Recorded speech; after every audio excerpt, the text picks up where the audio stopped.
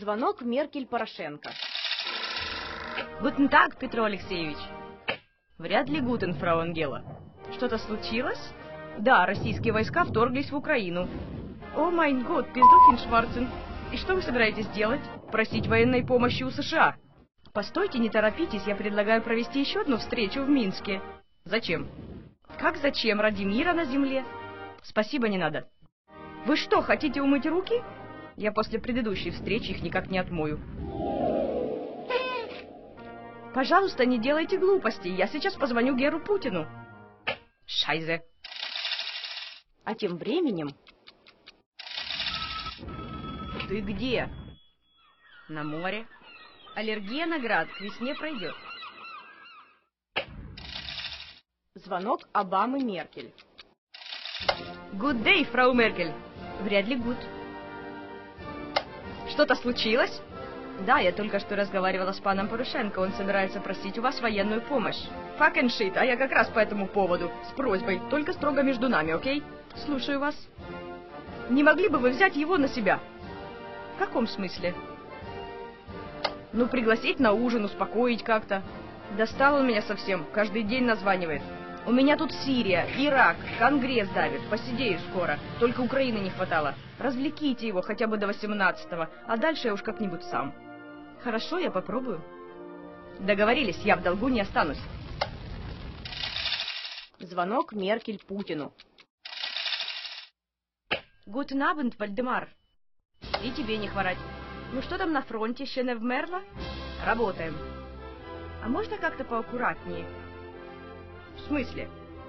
Ну хотя бы документы у солдат отбирайте и не хороните их, а кремируйте сразу. Ты про этих, что ли, которые заблудились?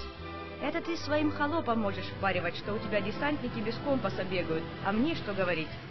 Ну, объясни им, что просторы у нас, страна слишком большая, реально можно заблудиться.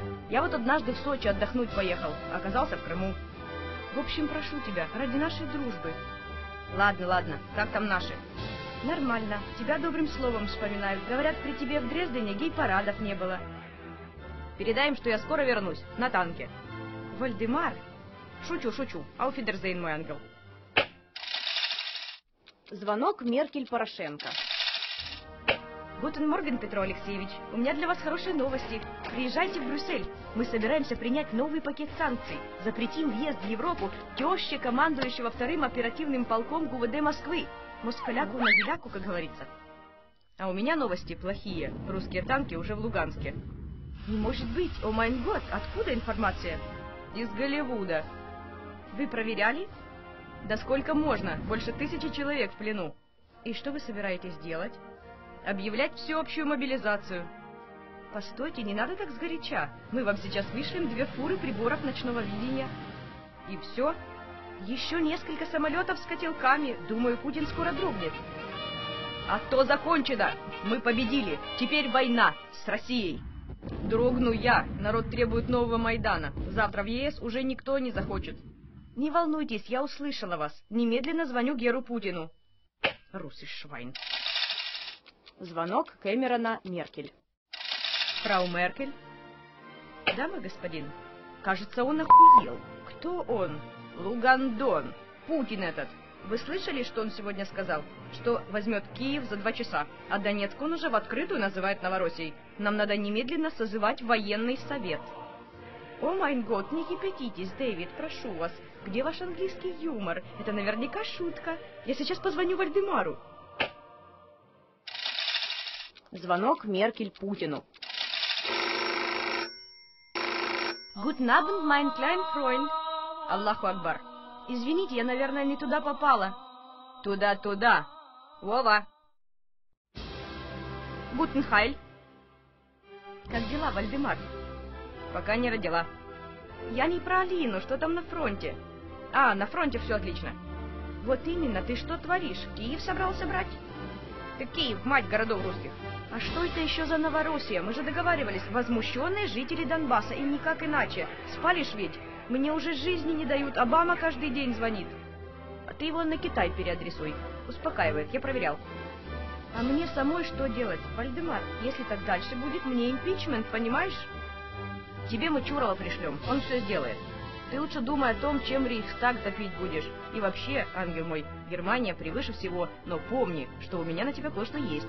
Импичмент легким выговором покажется. Зачем ты так? Ты же видишь, я делаю все, что в моих силах. Ладно, вижу. Не хнычь, недолго осталось. Старость я тебе обеспечу.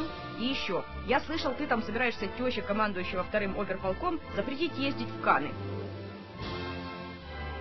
Откуда тебе известно? От приблуда. Забудь, в общем. Я тебе вышлю список, кого не жалко. Он шел на Одессу, а вышел к Херсону.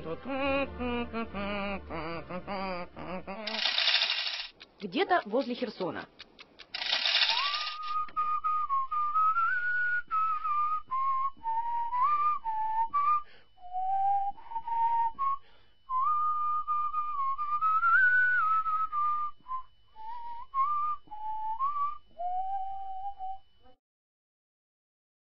To be continued.